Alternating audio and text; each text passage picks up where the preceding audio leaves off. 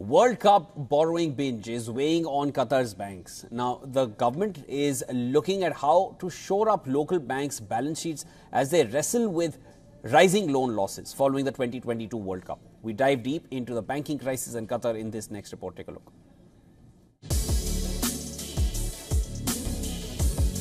The initial excitement around Qatar's hosting of the World Cup is beginning to dissipate as the country's state backed lenders face increasing financial losses.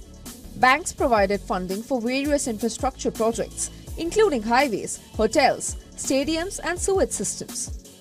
A Bloomberg report quoting sources showed the Qatari government is currently thinking of ways to boost the financial positions of these banks. The government is looking at hiring restructuring advisors, purchasing troubled real estate holdings from banks hit hard by defaults, or pressuring smaller businesses to merge. While the Qatari government has never allowed a domestic bank to fail, limits on the $510 billion sovereign wealth fund may be imposed this time. This comes when Qatar's worldwide image is reaching unprecedented heights. To help finance any assistance for the banks, the government could also limit payments from its budget surplus to the Qatar Investment Authority. Qatar's International Media Office said in a statement The state of Qatar's economy is strong and well positioned for the future, and this includes the banking sector. The statement added The average ratio of non performing loans has remained within the expected range since Qatar hosted the World Cup in 2022.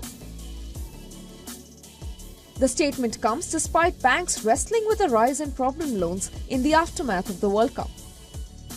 In contrast, regional peers have seen a drop in the share of soaring debts. Qatar astonished everyone by winning the right to host the 2022 World Cup. With a mere 4,500 square miles spread out across a peninsula that extends into the Persian Gulf, this little nation is smaller than a US state. However, the country's enormous gas wealth has granted it immense influence in the global arena. By the end of the decade, it is aiming to control approximately 25% of the world's liquefied natural gas. Qatar has also been lauded by the US for its role as a mediator between Israel and Hamas, which resulted in the release of some hostages. Qatar has now become a global negotiator. The 2022 World Cup was a major catalyst for the country's global influence. However, the total cost to host the World Cup was around $300 billion and is now weighing on domestic banks. The government relied on hundreds of real estate developers and construction companies to complete the projects. As a result, these companies accrued substantial debts from local lenders for project financing. Qatar ranks as one of the richest countries on a per capita basis. So, the government has the ability to shore up struggling banks.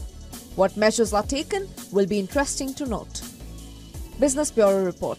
WION World is One.